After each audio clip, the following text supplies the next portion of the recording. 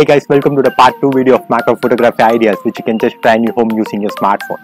These are very simple tricks and you guys will love it.